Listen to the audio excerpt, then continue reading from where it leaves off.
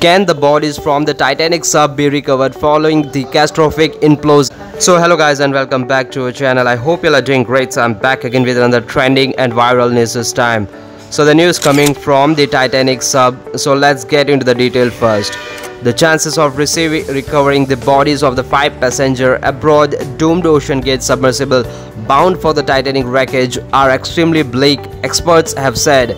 The four tourists, including two billionaires and the CEO of OceanGate Expedition, were all killed when the submersible suffered a catastrophic implosion, the US Coast Guard announced Thursday.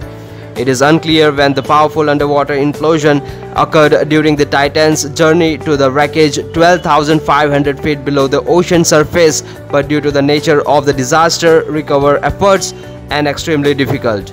This is an incredibly unforgiving environment down there on the seafloor and the debris is consistent with the catastrophic implosion of the vessel, Rear Adam John Mauger of the US Coast Guard said at the press conference Thursday.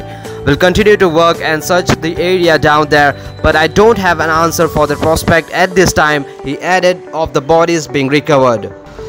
The victims included Suleman Dawood, 19, his business tycoon father Shahzada, 48, British billionaire Hamish Harding, 58, famed Titanic explorer Paul Henry Nargeolet, 77, and the OceanGate founder and the CEO Stockton Rush, 61. The group descended towards the depth of the Atlantic on what was supposed to be a memorable trip Sunday morning.